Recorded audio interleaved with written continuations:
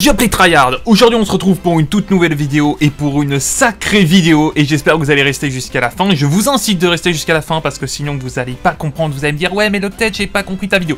Reste du début jusqu'à la fin, t'écoutes attentivement, prends un paquet de chips, prends un coca et aujourd'hui on va parler du prochain Call of Duty de Treyarch. Évidemment si tu es nouveau, n'oublie pas de t'abonner à cette chaîne YouTube, de défoncer la barre de like, chaque like est un soutien, permet de partager la vidéo, permet au référencement et cela me fait extrêmement plaisir à chaque fois que je reçois un certain nombre de likes parce que ça veut dire que vous êtes toujours aussi présent, que vous me soutenez et que ça fait toujours autant plaisir. Donc voilà, et au niveau du gameplay, je vous ai proposé deux gameplays différents euh, sur Call of Duty Black Ops Cold War, une à la K74, euh, la K74, on va y arriver, et une euh, XM4. Voilà, XM4 nucléaire de nouveau. Et tu connais l'objectif, les 1000 likes en moins de 24 heures, abonne-toi. Et n'hésite pas d'ailleurs aussi à me dire dans l'espace des commentaires, est-ce que tu attends avec impatience le prochain Call of Duty de Treyarch? Parce que je sais, il y a toujours un peu une guerre euh, entre Modern Warfare et Black Ops. Personnellement, je suis plus Black Ops, mais tant que le Call of Duty est bon, je m'en fous. Même si j'ai une petite préférence quand même pour les Call of Duty de chez Treyarch. Et comme je vous ai dit, on va devoir parler de pas mal de choses. Et surtout, vous allez devoir vous concentrer parce que je pense que tu es déjà au courant que le prochain Call of Duty s'appellera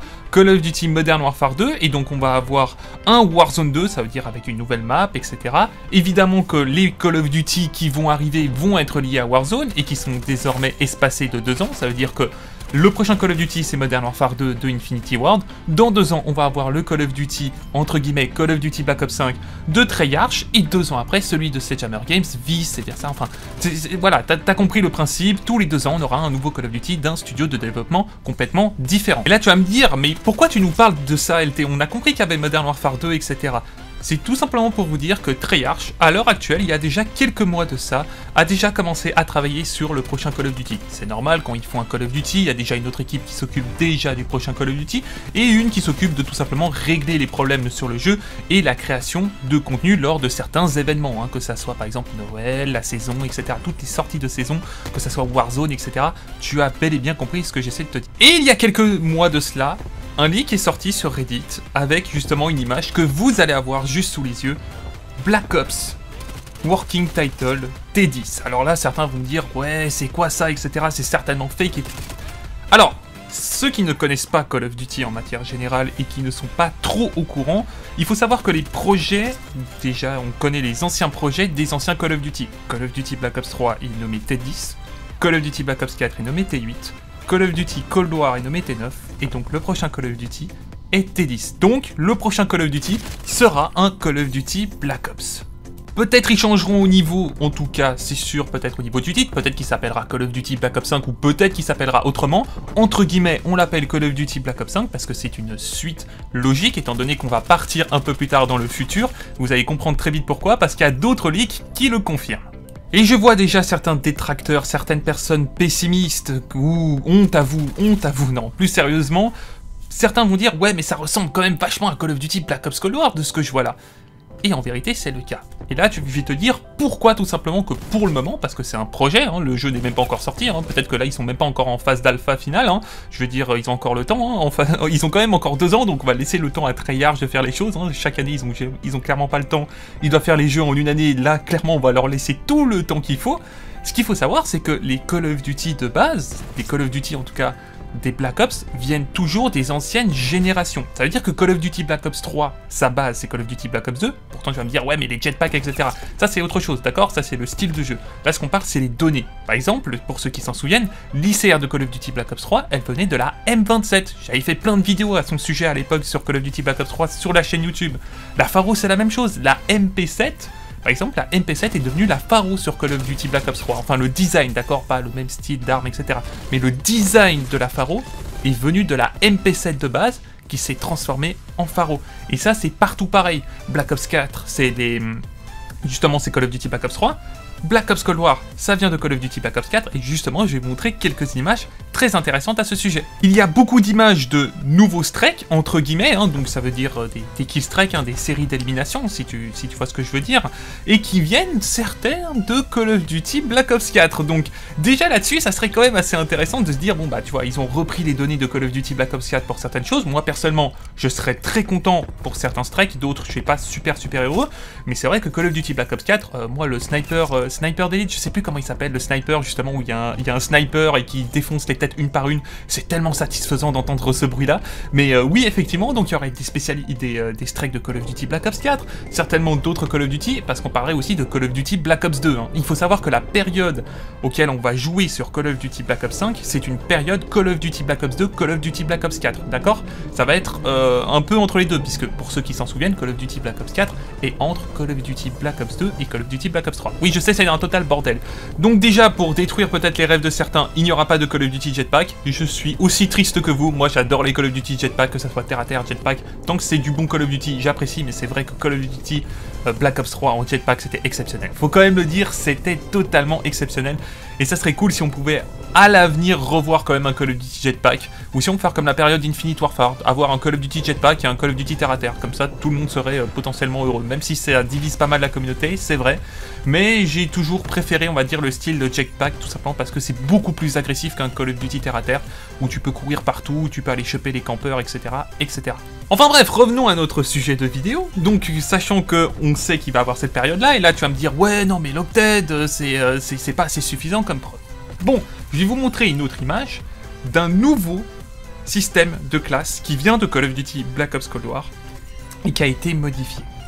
Et je pense que si tu as vu cette image-là, les premières personnes qui ont vu, qui ont déjà joué à Call of Duty Black Ops 3 savent de quoi on parle le retour des spécialistes. Il y aura donc une grande probabilité, ou sinon une habilité comme on a pu avoir avec euh, Call of Duty Black Ops Cold War, de mettre, tu sais, un peu les, systèmes trophies et tout, etc. Donc, euh, enfin, les systèmes trophies, euh, les, enfin, tous les trucs qui à terre, les mines, etc.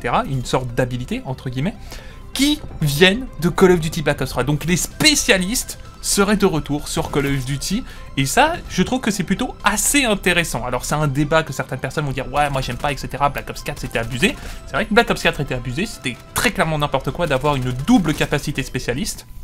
Autant que ça soit une un peu plus passif et une justement active auquel tu peux tuer les gens et puis l'autre justement ça c'est pas forcément dans ce délire là donc avoir la double capacité je pense pas que c'était une très bonne idée il semblerait que ça soit réglé vu que la classe que je vous ai montrée, et certains vont dire ouais non mais ça peut être créé n'importe comment, etc. Voici la deuxième image qui le montre, et justement on voit plein de capacités de Call of Duty Black Ops 3 qui vont être intégrées dans le prochain Call of Duty Black Ops 5. Et ça c'est cool, ça c'est génial, autant pour le multiplayer, parce que c'est vrai que le, côté SP change un peu, etc. Alors j'espère de nouveau qu'ils vont pas faire comme Black Ops 4 également, qu'on se retrouve pas seulement à se retrouver avec une habilité, j'espère que tout le monde pourra utiliser une potentielle habilité, parce que quand même, on va pas se cacher, les personnes comme moi, dans, dans, dans l'espace commentaire, soyons sérieux, c'était pas chiant quand quelqu'un prenait tous les meilleurs spécialistes et le mec faisait du 0,16, du 0,20. C'était ultra frustrant, soyons francs, c'était ultra frustrant de se dire que t'étais meilleur au prophète, que tu peux sortir des putains de dingueries, et le mec te prend prophète et il fait du 1,5 du 1,15, du 1,20. Et t'as fait, non mais mec, lâche le meilleur spé frérot, lâche-le Tu sais pas l'utiliser, surtout que c'était trop important sur Black Ops 4, un spécialiste pouvait faire, vraiment toute la différence euh, dans une game. Pour ceux qui posent la question, évidemment le mode zombie sera de retour, et là tu vas me dire comment tu sais? Bon bah déjà première des choses c'est totalement évident, hein, Treyarch est l'initiateur du mode zombie sur euh, Call of Duty depuis des années, donc très clairement le mode zombie va arriver, mais si vous voulez vraiment une preuve, il y a également une autre preuve, le mode campagne et le mode euh, et le mode zombie seront bel et bien présents. Ils vont pas faire comme sur Call of Duty Black Ops 4 où ils vont enlever très clairement euh, le, justement le, mode campagne. Ils avaient fait une, mode histoire un peu des spécialistes etc. C'était un peu bizarre. Enfin bref, peu importe. Moi forcément, je suis pas forcément un consommateur de de comment s'appelle de, de, campagne. Je suis un très grand consommateur de multiplayer, mais le zombie sera donc également présent autant que pour la campagne. Maintenant, parlons un peu de ce qui va se passer par rapport à l'avenir, des choses positives qui peuvent arriver et des choses un peu négatives. Bon, on a déjà parlé du côté un peu négatif, hein, du fait que lors de la dernière vidéo, il me semble que je vous ai dit que justement, on avait euh, ce nouveau principe qui va être mis en place, qui en l'occurrence va être sous l'égide de Microsoft. Hein. Lorsque le prochain Call of Duty euh, Black Ops va sortir, il y aura Microsoft qui sera derrière à un moment donné. Donc ça risque d'être quand même assez intéressant par rapport à ce point-là lorsqu'on va voir les premières évolutions euh, de Microsoft au sein de Call of Duty. Mais le fait que potentiellement si le Call of Duty ne fonctionne pas, bah, pendant deux ans on risque bah, d'être un peu, euh, voilà, d'être en manque de hype de Call of Duty, d'être en manque de contenu Call of Duty. Mais contrairement à ce qu'on pense, Treyarch est quand même plutôt assez fortiche en termes de contenu. Là où je dirais que Infinity Ward peut être un peu moins intéressant, il est très intéressant pour certaines choses, mais généralement euh, c'est pas ouf ouf hein, en termes de contenu, même si pour Warzone ils ont, ils ont très clairement mis la barre haute, même Call of Duty Black Ops Cold War en vérité en termes de contenu a vraiment mis la barre haute, c'est vrai que si je compare Call of Duty Black Ops Cold War à celle de Call of Duty Black Ops 4, le contenu de Black Ops 4 en tant que DLC, hein, je parle en tant que DLC, je parle pas tout ce qu'il y a autour, parce que les camouflages BO4 c'est masterclass. Hein. Même si tu détestes le jeu, tu peux pas me dire que les camouflages de BO4 sont moches, c'est les plus beaux camouflages qui ont jamais été créés. Les, les mecs qui ont créé ça, c'est des génies, c'est des total génies. Mais c'est vrai que sur le long de l'année, avec les nouvelles maps, il y a quelques armes certes qui sont intéressantes, mais alors les maps de Black Ops 4 en DLC c'était catastrophique, c'était catastrophique. Pour vous dire, je crois que la seule que j'ai aimée c'était des, remakes, je crois Green qui était de retour, ok c'était la seule qui était intéressante. Le reste, euh, ah, franchement, poubelle, je m'en souviens même plus pour vous dire à quel point c'était vraiment pas intéressant. Lorsque Call of Duty Black Ops Cold War, il y a des maps DLC qui sont super cool à jouer, donc à voir évidemment, évidemment des fois Treyarch font des faux pas, mais en termes de contenu, ce sont des génies. Très clairement, ce sont des putains de génies. Mais imaginez les capacités d'une nouvelle classe, d'un nouveau système de classe créé par Treyarch pour Warzone. Et ça, ça peut être juste magnifique. Bon, vous l'avez entre guillemets avec Apex Legends, parce que vous avez des spécialistes et tout, etc. Mais justement, le fait qu'on puisse avoir des capacités différentes, qu'on puisse avoir un style de jeu complètement différent, en plus avoir des armes, etc., ça peut être super, super intéressant. Parce que le truc, c'est que, ok, c'est cool, mais les trois quarts du temps, tout le monde joue les mêmes méta d'armes. Là, on va pouvoir jouer avec peut-être des autres spécialistes plutôt assez intéressants, faire des trios avec des spécialistes complètement différents, qui vont compléter, qui vont justement rendre votre groupe beaucoup plus polyvalent peut-être dans le fait de réaliser plus facilement des top 1, ou tout simplement pour être totalement meurtrier et réaliser des séries de kills mais juste incroyables sans mourir, sur euh, Warzone hein, évidemment. Donc là-dessus ça risque d'être quand même assez intéressant au niveau de l'avenir qu'est Call of Duty. Et personnellement, Treyarch a toujours tout fait en sorte d'essayer d'améliorer le jeu. Je veux dire, Call of Duty Black Ops 2, nouveau système de strike. Ok, d'accord, on a eu un nouveau système de strike. Call of Duty Black Ops 3, le premier Call of Duty avec du jetpack, que tu aimes ou que tu aimes pas, c'est une innovation, d'accord? Ça reste une innovation. Call of Duty Black Ops 4, le premier Call of Duty terre à terre, le plus agressif qui existe. Je veux dire, il n'y a aucun Call of Duty terre à terre qui est aussi agressif que Call of Duty Black Ops 4. C'est à se demander si de base ce Call of Duty n'était pas censé être jetpack. Parce que ça fait quand même bizarre de voir des conseils slide aussi violents. Je veux dire, Black Ops 4 est super agressif comme Call of Duty. Et même Cold War, bah, les gens critiquent Cold War, etc. Mais Cold War, c'était le retour justement à ce Call of Duty très arcade j'adore. Moi, je préfère ces Call of Duty là. Je ne suis pas du tout fan de MW 2019. Je pense que vous êtes au courant vu le nombre de fois que j'en parle. Je ne suis pas du tout fan du système de Modern Warfare 2019 et je préfère le côté arcade. Évidemment, les goûts et les couleurs. Certains vont dire MW pour le côté réaliste. Bon, bah écoutez, tant mieux. Moi, je vois Call of Duty, c'est pour le côté arcade. Et c'est vrai que les Black Ops là-dessus régalent pour moi, ils sont, euh, sont juste impressionnants euh, chaque année, et chaque fois que j'y joue, je fais bon, j'ai pas y joué un bon moment, hormis Call of Duty Black Ops 4 qui a un peu fait ce délire là, mais c'était plus une question de, dégoût par rapport au jeu et, au maintien de jeu. Mais sinon, euh, Cold War, moi j'ai adoré y jouer et j'y joue encore de temps en temps, donc ça fait toujours extrêmement plaisir. Maintenant, n'hésitez pas à me dire dans l'espace des commentaires qu'est-ce que vous en pensez, parce que je lis tous les commentaires. Hein. Ça va pas dire si des fois je ne réponds pas, etc., que je ne lis pas votre commentaire. Je lis très très souvent vos commentaires, sachez-le. Qu'est-ce que vous en pensez justement de toutes ces nouvelles-là autour de ce Call of Duty? Qu'est-ce que pour vous, est-ce que c'est des bonnes choses, les spécialistes, etc. Est-ce que pour vous c'est une mauvaise chose? Même si, de nouveau, bah, on peut avoir le juste milieu. Hein. Pour moi, Call of Duty Black Ops 3 était le juste milieu entre les spécialistes et justement le côté un peu terre-à-terre, jump shot, etc. Tout ce qu'il faut. Ou là où, contrairement à Call of Duty Black Ops 4, on était très clairement dans l'abus avec les spécialistes. Très clairement, ça ressemble énormément à un style en mode Overwatch, auquel tu avais Crash qui pouvait te soigner, tu avais euh, d'autres spécialistes qui faisaient un peu en mode tank, ça veut dire on bloque un peu les espaces etc. D'autres qui sont très clairement plus en mode DPS. C'est vrai que Call of Duty Black Ops 4 a plus ce principe-là un peu en mode Overwatch. Alors c'est pas du tout comme Overwatch, très clairement pas, mais il y a ce principe-là en mode Overwatch qui est derrière où chaque personne doit prendre un spécialiste et que chaque spécialiste peut très clairement faire la différence. Comme sur Overwatch, hein, très clairement, un spécialiste peut faire clairement toute la différence. Et c'est vrai que sur Black Ops 4, t'avais un peu ce principe-là. J'espère ne pas le revoir parce que Overwatch c'est Overwatch, Call of Duty, c'est Call of Duty. Je pense qu'on est tous d'accord sur ce principe-là. Évidemment, qui dit chose positive peut dire également chose négative, parce que c'est vrai qu'il y a certains spécialistes de Call of Duty Black Ops 4 qui était très clairement insupportable. Hein. D'ailleurs, sur Call of Duty Black Ops 3, il y avait aussi des spécialistes qui rendaient complètement fou les pointes de choc. Combien de personnes en, série nucléaire se sont mangées des pointes de choc en série de 28 ou 29 Et j'ai beau avoir réalisé plus de 2000 nucléaires sur ce jeu, je vous jure que quand on me dit le spécialiste ruine, j'ai encore des sueurs froides de ce spécialiste-là.